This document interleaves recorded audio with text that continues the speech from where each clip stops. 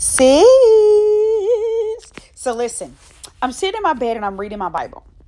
And I'm reading Second Corinthians chapter 9 because that's where I've been at. Hey girl.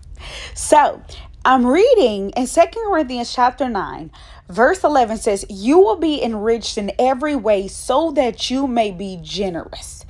Sis, can I just prophesy over your whole entire life and say that you shall be enriched in every single way?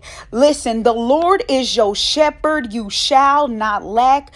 No good thing will he withhold from those who diligently seek him.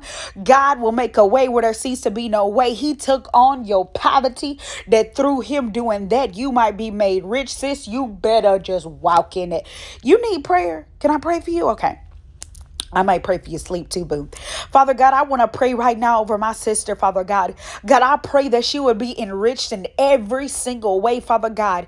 God, I thank you that she is the head and not the tail, above only and never beneath. God, I command her situation to change right now in the name of Jesus. God, I speak into her life. God, I speak favor.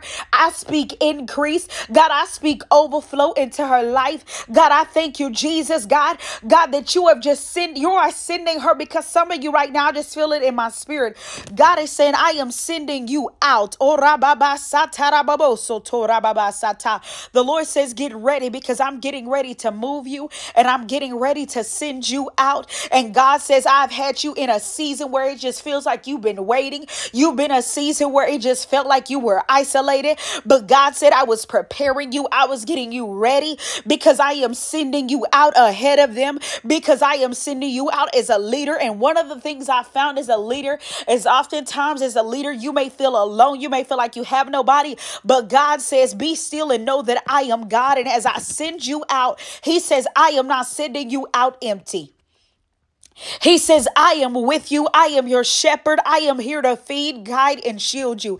Not only will I feed you, not only am I going to guide you, but I'm going to shield you. You don't have to answer. Somebody needs to know this. You don't got to answer to the naysayers because I am shielding you. I am your vengeance. I am your vindicator, says the Lord. And the Lord is saying to you today, allow me to take care of you. Go and be obedient and watch and see how I bless your obedience. Sis, if this is your word, girl, listen, I that prophetic is just ah, since if this is your word, I want for you to catch it. Type me in the comments and receive this word for your life. I love you, girl. Hallelujah, Jesus.